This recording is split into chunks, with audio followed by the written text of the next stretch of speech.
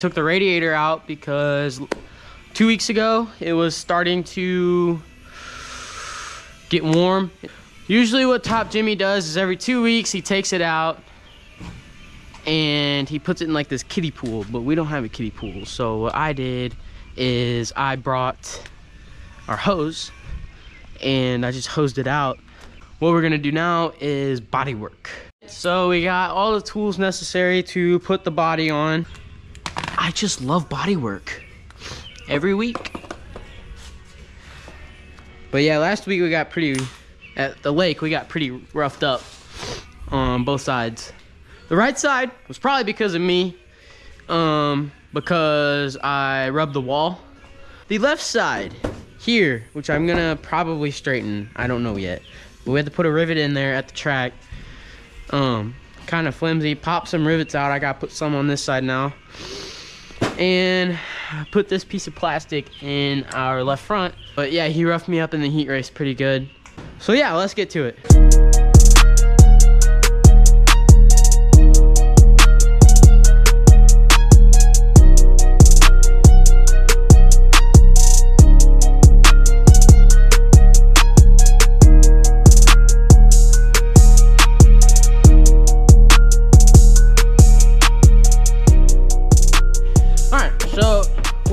Are going to put in the radiator. I think I'm back in there. Careful, SpongeBob. Careful, SpongeBob. Careful, SpongeBob. Alright, forget to put the honeycomb in there.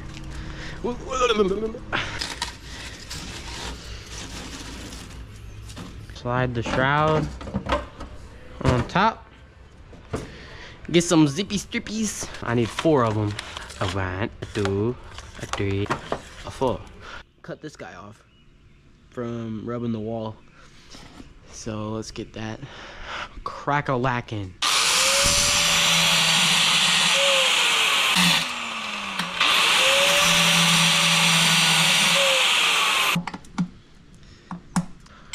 Grind off these edges so it doesn't cut somebody really, really, really bad. My brother was putting up a wheel. I think on that trailer, you like lift up the wheel to put it up on there because we were super small. Freaking sliced his hand like bad. Made me almost throw up because I was right next to him. He started bleeding everywhere.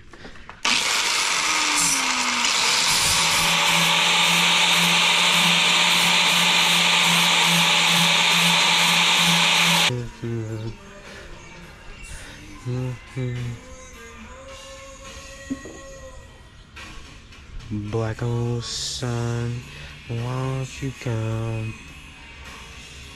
Wash away the rain, black old sun, won't you come? Well, this is never a good sign on race day. Uh, starting to rain. Look at them clouds. Tree leaves are white on the backside. Old saying is that that means it's gonna rain. And it is. And I am almost done. I am doing the bolt check. And right now I am in the middle of the car doing the bolt check. So I start from the back, work my way up to the front. Never a good sight to see. Alright.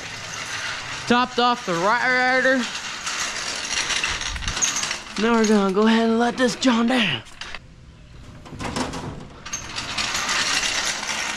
I was really excited to watch some 410s, and it rained out, and I'm kind of sad. So Wait, can you do the point five? No, but. so after the Friday night, um, where we ate out with family uh, at the Banded Brewster in Kingdom City, the next day on Saturday, me and Dad look up tracks that are racing, and uh, we figured out that um, CMS, which is Warrensburg, Missouri, was racing, and around one o'clock in the afternoon, we decided, how about we just go race that? So we did, and uh, we kind of did bad, but I still learned a lot with racing on a slick track in a 3,000 pound car instead of a 940 pound car. So definitely learned a lot, which so you have to have them bad nights to be able to learn and improve. Which racing on a very slick track like that definitely made me figure out how the car would handle, and uh, it I just taught me a lot of things. So we kind of start out the race. I'm basically last in the uh, street stocks. We kind of start out have a good race. I'm just kind of waiting to see how things shake out uh, in the start. Usually at Callaway, people kind of bury it into the corner, but it was really slick tonight. And uh,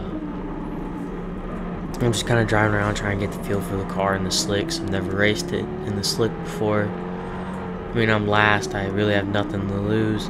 I get pretty sideways a couple times, but that's just trying to figure this thing out.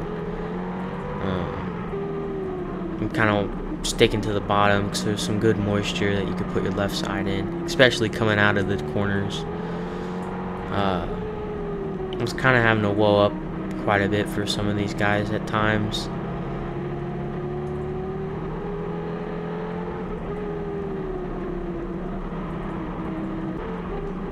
Here, I finally kind of uh, see that the number three is starting to slip up a little bit, and going into this corner, I see that he left the lane up, a, uh, left the lane, lower lane, and he kind of drifts up and I knew I had a good bite coming off of two, so I stick my nose under him, and he just hits the gas and just shoves up the track, and I pivot the car and drive out on all that moisture on the bottom. And uh, now that I kind of have some space, I really try and open it up and see how much I can do, and I eventually catch the cars in front of me.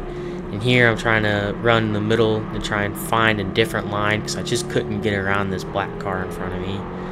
Um, but eventually he starts to slip up a little bit like right here. I get a good bite coming off of turn two. Try and stick my nose under him but didn't have enough. He still he goes in too hard slides up because he knew he messed up in turn two so he went in harder trying to kind of block but it messed him up. So then I stick my nose under him and get the pass and then here I just try and continue to open it up and be consistent but I just stayed in this spot, so that's how the race ended.